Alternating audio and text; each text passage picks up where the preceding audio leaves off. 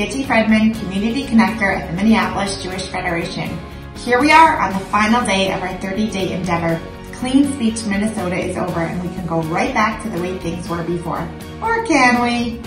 If we've gotten this far, we hopefully have at least a small sense and maybe even a great appreciation for the pleasure that comes with improving our speech.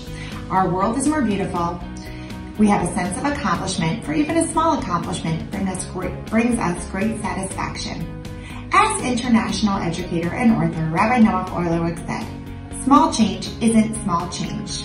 We should know, however, that we have only scratched the surface of our topic. Much more detailed instruction can be found in other great books about Lashon Hara.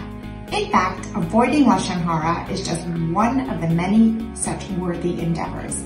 Related mitzvot of improved speech include not lying, not revealing other people's secrets, and not hurting others in conversations with them. And then there are interpersonal mitzvot such as not taking revenge, not bearing a grudge, and loving your neighbor as yourself.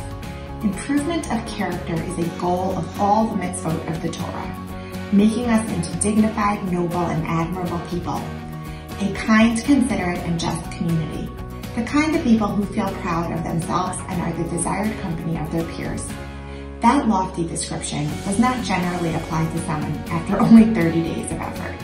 It takes a lifetime of work and self-growth. The good news, however, is that we is that the reward is felt immediately because making progress towards the goal is extremely satisfying.